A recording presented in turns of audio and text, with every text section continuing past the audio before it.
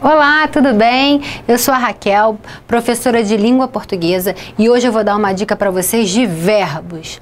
Modo indicativo. Nós temos aí o presente, o pretérito perfeito, o pretérito imperfeito, o pretérito mais que perfeito e o futuro do presente o futuro do pretérito, não é isso? Então vamos nos prender ao pretérito, esses três pretéritos. Qual é a diferença? Você quer ver?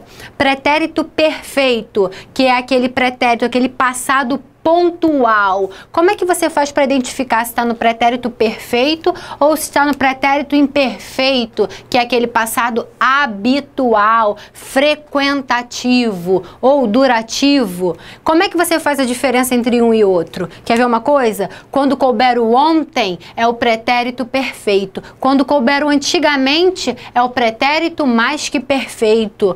Corri na praia. Antigamente corri na praia ou ontem corri na praia? Ontem. Então, se coube o ontem, é o pretérito perfeito. Quando eu falo assim, é, vendia joias, vendia joias. Ontem vendia ou antigamente vendia? Antigamente. Então, se coube o antigamente, é o pretérito imperfeito. Então, cuidado com isso, é uma dica. Quando couber o ontem, pretérito perfeito. Quando couber o antigamente, pretérito imperfeito. Outro detalhe é o seguinte: perfeito sempre pontual, concluso, imperfeito habitual, frequentativo, tá? E o mais que perfeito, só para não ficar solto, o mais que perfeito é o ra sem acento. Como assim? Amara, cantara, beijara em vez de beijará, cantará, amará, cuidado, é sem o acento, cantara, amara, beijara. Esse é o passado do passado,